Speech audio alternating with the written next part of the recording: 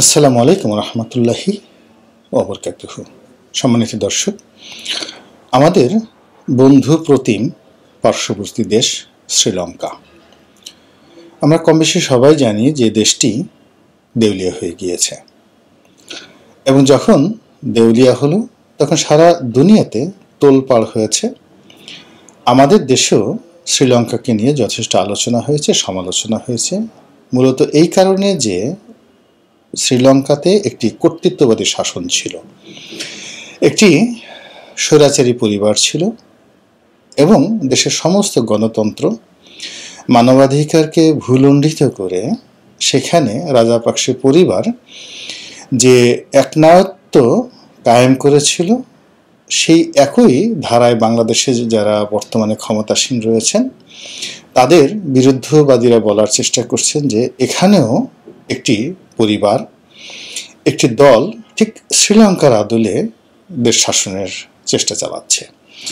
দ্বিতীয়ত, শ্রীলঙ্কা তার রাষ্ট্রীয় যে পলিসিগুলো ছিল উন্নয়ন করা, বিদেশ থেকে ঋণ গ্রহণ করে যেগুলোর বাণিজ্যিক সম্ভাব্যতা নাই বা যে প্রকল্প অর্থায়ন করার ফলে অর্থটি ফিরে আসবে না, এরকম অনেক অনুৎপাদনশীল প্রকল্পে চীন থেকে চড়া ঋণের সুদ এনে শ্রীলঙ্কা আজ যে বিপদ এবং বিপত্তির মধ্যে পড়েছে বাংলাদেশের ক্ষেত্রে, এইরকম ঘটনা ঘটার সম্ভাবনা রয়েছে বলে অনেক অর্থনীতিবিদ আশঙ্কা প্রকাশ করেছেন। এজন্যে শ্রীলঙ্কার বিষয়াদি নিয়ে আমাদের দেশে আলোচিত হয়েছে।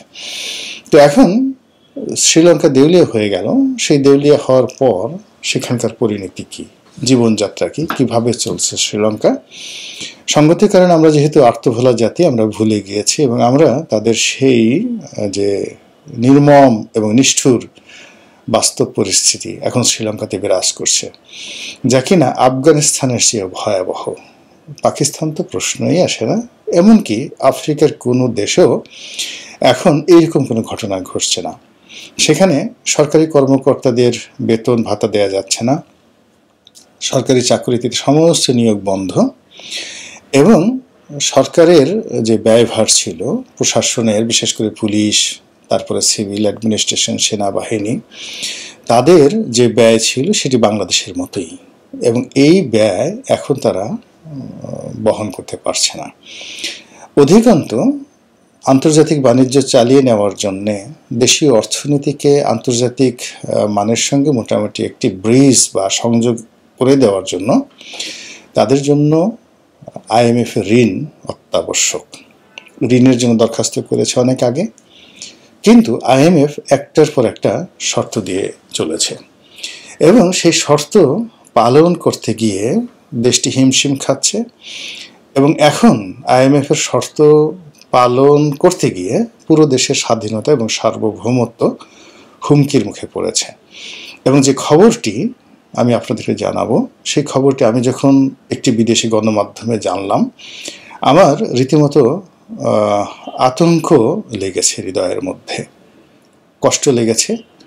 এর কারণ হলো, দীর্ঘদিন যে রাজা পাকসের পরিবারকে ক্ষমতা টিকিয়ে রাখার জন্য সে দেশের সেনাবাহিনীর যে সকল ভুড়িওয়ালা, পেট মোটা কর্মকর্তা, কর্মচারী উর্দি পরে রাষ্ট্রের অর্থ খেয়ে একটি পরিবারকে সেবা করেছে। আজ তাদের সেই কুকর্মের কারণে পুরো শ্রীলঙ্কার সেনাবাহিনী ধ্বংস হতে বসেছে।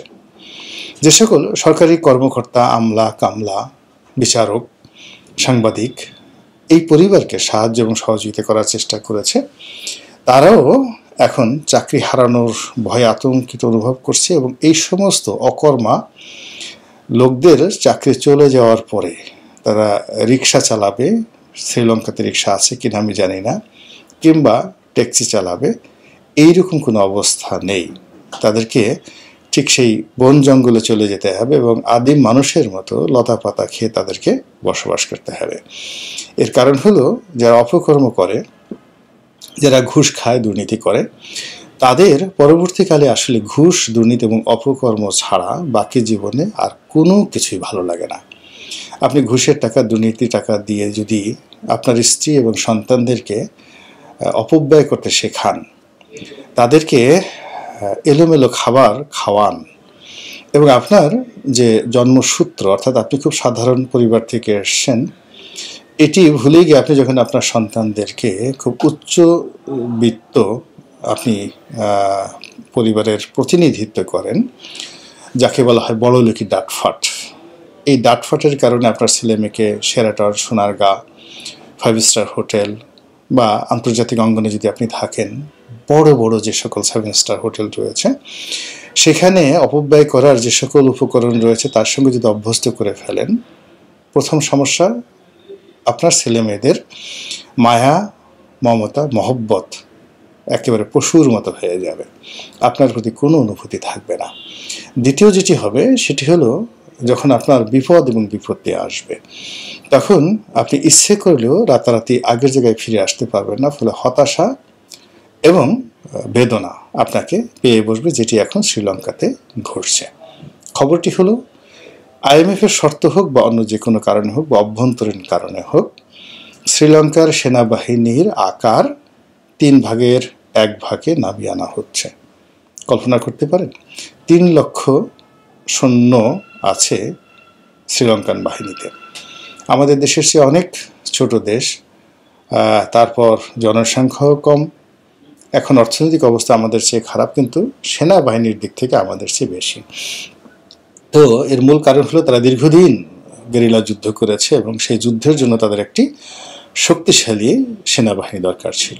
এবং সেই শক্তিশালী সেনাবাহিনী এই রাজাপাক্সের কবলে পড়ে এখন এমন অবস্থা হয়ে গিয়েছে যে সেনাবাহিনীর তিন ভাগের দুই ভাগ কর্মকর্তা এবং কর্মচারীকে চাকরি থেকে বাদ দিতে হচ্ছে। এবং চাকরি থেকে বাদ দিলেও এই কর্মকর্তা কর্মচারীরা রাষ্ট্রীয় কোষাগার থেকে পেনশন পাবেন বা সার্ভিস ভাতা পাবেন, এমন কোনো নিশ্চয়তা নেই, বাট এটা তাদেরকে করতে হচ্ছে। তাহলে বোঝার চেষ্টা করুন যে একটি দেশের সেনাবাহিনীর সবচেয়ে স্পর্শকাতর, এমনকি বিচার বিভাগের চেয়ে স্পর্শকাতর। তো সেনাবাহিনীতে যদি তিন ভাগের দুই ভাগ লোক ছাঁটাই করা হয়, তাহলে সরকারের অন্যান্য বিভাগ এবং অনুবিভাগের অবস্থা কী? এবং আমাদের এই বাংলাদেশে আপনি যদি দেখেন এই মুহূর্তে, বিশ লক্ষ প্রায় অর্থাৎ টু মিলিয়ন সরকারি কর্মকর্তা কর্মচারী রয়েছে বিভিন্ন জায়গাতে। সেটা বিচারক অডিটর জেনারেল অফিস থেকে শুরু করে একেবারে তহসিলদার, সেনাবাহিনী প্রধান থেকে শুরু করে একদম আনসারের সদস্য যারা নিয়মিত বেতন পান। বিশ লাখ। এই বিশ লাখ লোকের জীবনযাত্রা, চালচলন, এটাই মূলত সমাজে এই মুহূর্তে ব্যালেন্স রাখছে এবং রাষ্ট্রীয় কোষাগার থেকে টাকা ছাপিয়ে হোক, কেন্দ্রীয় ব্যাংক থেকে ঋণ নেওয়া হোক, বাণিজ্যিক ব্যাংক থেকে ঋণ নেওয়া হোক, যেভাবে হোক সরকার কিন্তু গত কয়েক বছর যাবৎ বেতন দিচ্ছে। কিন্তু দীর্ঘমেয়াদে এটি একেবারে অসম্ভব একটি বিষয়। যার ফলে কি হচ্ছে? যদি এই বিশ লাখ লোকের জীবনযাত্রায় ব্যত্যয় ঘটে, তাহলে আমাদের দেশের অর্থনীতিতে সুনামি বয়ে যাবে। এখন যেভাবে সারা বিশ্বকে বোঝানোর জন্য জিডিপি এত গ্রোথ এত এক্সপোর্ট এত মানে ট্রেডের যে ব্যালেন্স অফ ট্রেড কিংবা ব্যাংকের এত অর্থ আছে, এই আছে, এত বছর এটা প্রবৃদ্ধি হয়েছে, অর্থাৎ সারা দুনিয়া যেখানে মন্দাতে তসনস হয়ে গিয়েছে, সেখানে বাংলাদেশের অর্থনীতি নিয়ে যে ধরনের খবর প্রচার করা হচ্ছে, প্রচারিত হচ্ছে, এর মূলে মূলত এই আমলাদের যে কর্তৃত্ব তাদের যে ঐক্যবদ্ধতা, তাদের যে সাহস এবং তাদের যে নিয়ন্ত্রণ ক্ষমতা প্রেস এবং মিডিয়া উইংসের প্রতি রয়েছে, এর ফলে এটা হচ্ছে। কিন্তু সেই জায়গাগুলোতে যদি আঘাত পড়ে, তাহলে বুঝতে পারেন যে প্রকৃত চিত্র যখন বের হয়ে আসবে, তখন সেটি কতটা ভয়াবহ হতে পারে অতীতে। আমরা দেখেছি সোভিয়েত ইউনিয়ন পতনের আগে এবং এখন দেখছি শ্রীলঙ্কাতে। তো শ্রীলঙ্কাতে সমস্ত সরকারি নিয়োগ বন্ধ, অনেক আগের থেকে করা হয়েছে। সেখানে পেট্রোল থেকে শুরু করে অন্যান্য দ্রব্য সামগ্রী রেশনিং দেওয়া হচ্ছে। চীন দুহাতে গোপন এবং প্রকাশ্যে অর্থ দেওয়ার পরেও পরিস্থিতির কোনো উন্নয়ন হচ্ছে না এবং ক্রমশ এটি বাড়ছে। একইভাবে এই শ্রীলঙ্কার মতো করে পাকিস্তানও সমস্যা প্রকট থেকে প্রকট হচ্ছে। শ্রীলঙ্কার চেয়ে পাকিস্তানের সেনাবাহিনী অনেক বড় ইফেক্টিভ তাদের খরচও অনেক বেশি, সামরিক ব্যয় অনেক অনেক বেশি। আর সেখানে ব্যবসা বাণিজ্য থেকে শুরু করে তাদের অন্য যে সকল টোটাল যে অর্থনীতির যে আকার, এটি অনেক অনেক বড়। তারা চীনকে টেকা দিচ্ছে, আফগানিস্তানকে নিয়ন্ত্রণ করছে, ভারতকে রীতিমতো নাস্তানাবুদ করে ছাড়ছে। সেই দেশটির রিজার্ভ মাত্র সাড়ে পাঁচ বিলিয়ন ডলারে নেমে এসছে এবং সেটি নিয়ে সে দেশে কিন্তু কোনো লুকোচুরি তারা করছে না। তারা সত্য প্রকাশ করে সেখান থেকে বের হয়ে আসার চেষ্টা করছে। আমরা শুনেছিলাম পাকিস্তান প্রায় পঞ্চাশ বিলিয়ন ডলার একটি প্যাকেজ সাহায্য পাচ্ছে সৌদি আরব থেকে।